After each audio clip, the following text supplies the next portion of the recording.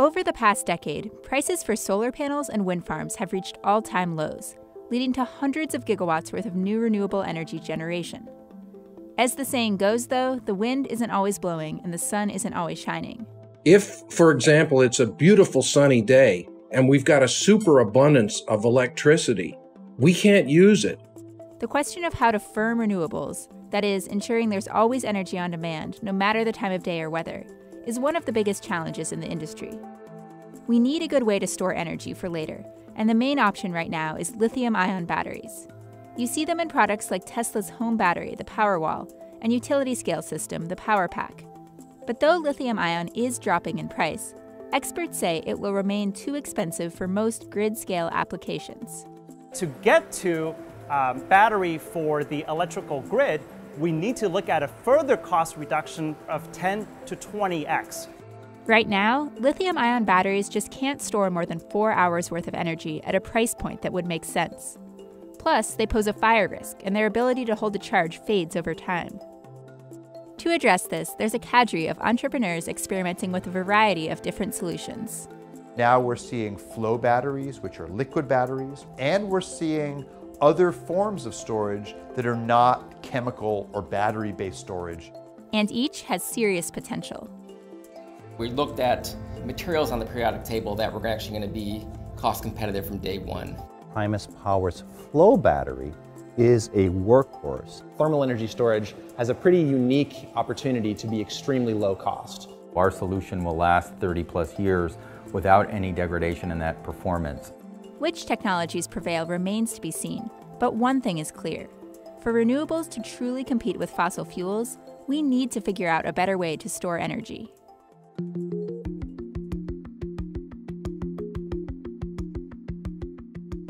From 2000 to 2018, installed wind power grew from 17,000 megawatts to over 563,000 megawatts, and solar power grew from a mere 1,250 megawatts to 485,000 megawatts. And it's not stopping there. Renewables are expected to grow an additional 50% over the next five years. We know today that solar PV and wind are the least expensive way to generate electricity.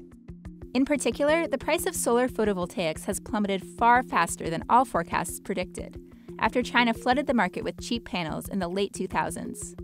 All the Wall Street analysts did not believe that solar was going to ever stand on its own without subsidies.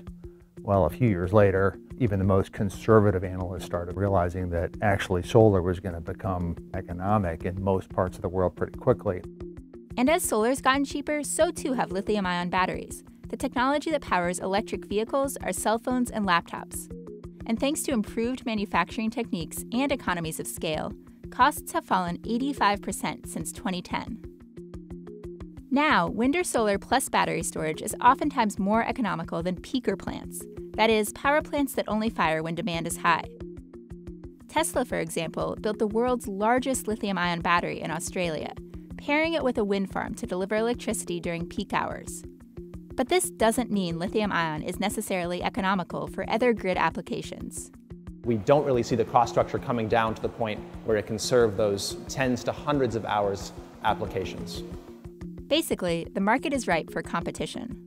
There are dozens of chemistry being looked at today. There are hundreds of companies working on scaling up and manufacturing new battery technology. Lithium ion has done remarkable things for technology, but let's go to something far better. One of the main alternatives being explored is a flow battery. Unlike lithium ion, flow batteries store liquid electrolyte in external tanks, meaning the energy from the electrolyte and the actual source of power generation are decoupled. With lithium ion tech, the electrolyte is stored within the battery itself. Electrolyte chemistries vary, but across the board, these aqueous systems don't pose a fire risk, and most don't face the same issues with capacity fade. Once they scale up their manufacturing, these companies say they'll be price competitive with lithium ion. Hayward, California based Primus Power has been working in the space since 2009 and uses a zinc bromide chemistry. So far, it's raised over $100 million in funding, including a number of government grants from agencies like the Department of Energy and the California Energy Commission. Primus's modular Energy Pod provides 25 kilowatts of power, enough to power 5 to 7 homes for 5 hours during times of peak energy demand, and for 12 to 15 hours during off peak hours. Most systems use multiple energy pods, though, to further boost capacity. The company says what sets it apart is its simplified system. So instead of two tanks, which every other flow battery has, Primus only has one. And we are able to separate the electrochemical species by taking advantage of the density differences between the zinc bromine and the bromine itself and the more aqueous portion of that electrolyte. To date, Primus has shipped 25 of its battery systems to customers across the US and Asia, including a San Diego military base, Microsoft, and a Chinese wind turbine manufacturer. It expects to ship an additional 500 systems over the next two years. Future customers are either independent power producers that are doing solar plus storage at utility scale or larger commercial enterprises also operating in this space is ESS Inc., an Oregon based manufacturer of iron flow batteries, founded in 2011. Its systems are larger than Primus Power's. They're basically batteries in a shipping container, and they can provide anywhere from 100 kilowatts of power for 4 hours to 33 kilowatts for 12 hours, using an electrolyte made entirely of iron, salt, and water. When we came into this market, we wanted to come into it with a technology that was going to be very environmentally friendly uh, it was going to be very low cost. It didn't require a lot of volume on the production line to drive down costs. ESS is backed by some major players like SoftBank Energy, the Bill Gates led investor fund Breakthrough Energy Ventures, and insurance company Munich Re. Having an insurance policy is a big deal, since it will make risk averse utility companies much more likely to partner with it. So far, ESS has six of its systems called energy warehouses operating in the field and plans to install 20 more this year. It's also in the process of developing its Energy Center, which is aimed at utility scale applications in the 100 megawatt plus range. That would be 1,000 times more power than a single energy warehouse.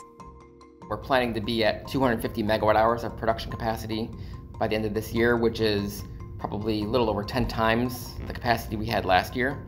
And then eventually getting to a gigawatt hour of production capacity um, in the next couple years. So far, key customers include Pacto GD, a private Brazilian energy supplier, and UC San Diego.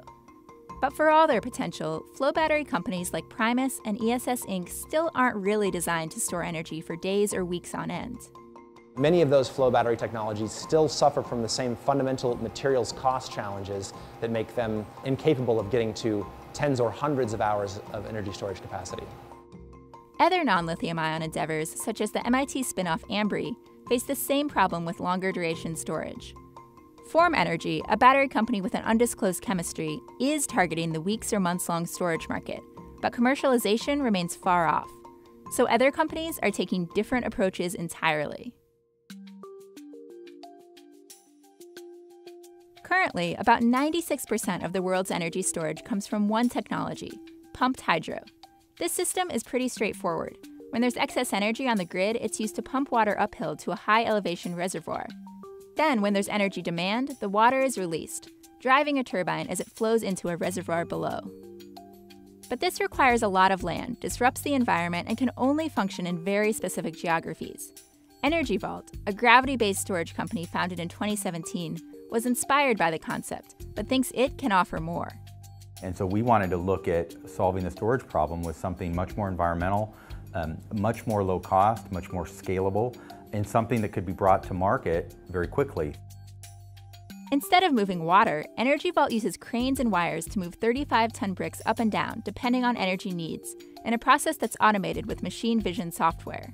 We have a system tower crane that's utilizing excess solar or wind to drive motors and generators that lift and stack the bricks in a very specific sequence. Then when the power is needed from the grid, that same system will lower the bricks and discharge the electricity. This system is sized for utility scale operation. The company says a standard installation could include 20 towers, providing a total of 350 megawatt hours of storage capacity, enough to power around 40,000 homes for 24 hours. Some of our customers are looking at very large deployments of multiple systems so that they'll have that power on demand for weeks and months and whenever it's going to be required. The company recently received $110 million in funding from SoftBank Vision Fund and it's building out a test facility in Italy, as well as a plant for India's Tata Power Company. But some say the sheer size of the operation means it just can't be a replacement for chemical batteries. Sounds very simple. However, the energy density on those systems are very low. And so that's where we believe chemical-based storage um, still has an advantage in terms of a footprint. You can't install a gravity-based system in the city, but you'd have to install it outside in, in the remote areas. Then there's thermal storage. It's still an emerging technology in this space, but it has the potential to store energy for longer than flow batteries with a smaller footprint than gravity based systems. Berkeley, California based Antora Energy, founded in 2017, is taking on this challenge. Basically, when there's excess electricity on the grid, that's used to heat up Antora's cheap carbon blocks, which are insulated inside a container.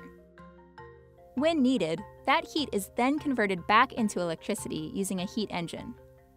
Typically, this would be a steam or gas turbine, but Briggs says this tech is just too expensive and has prevented thermal storage solutions from working out in the past.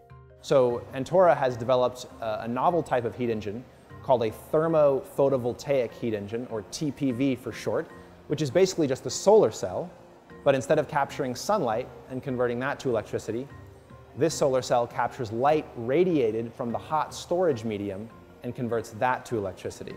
So it's electricity in, electricity out, and it's stored in ultra cheap raw materials as heat in the meantime.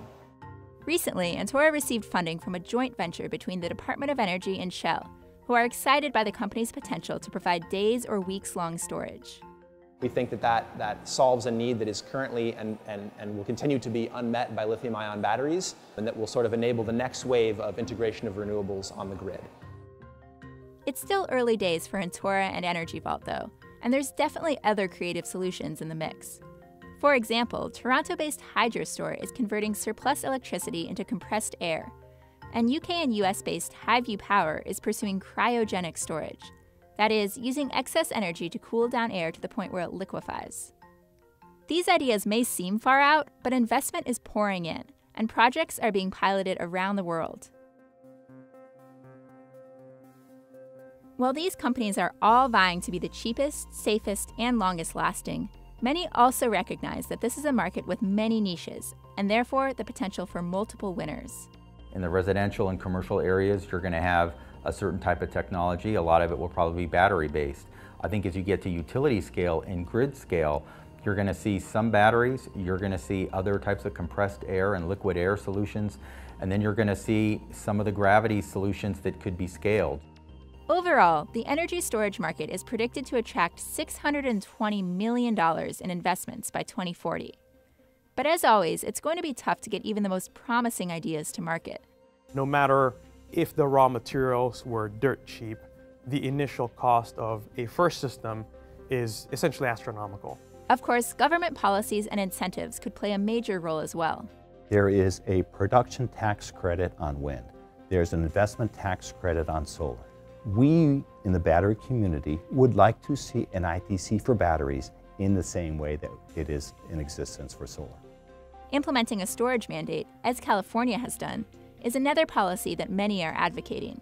When we get to roughly 20% of our peak demand available in storage, we will be able to run a renewable only system because the mix of solar and wind, geothermal, biomass, all backed up with storage, will be enough to carry us through even some of these potentially long lulls.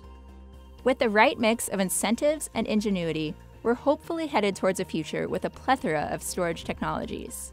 The future is not going to be a mirror of the past. We've got to do something that's radically different from everything that's been done up until now. I'm really excited about that.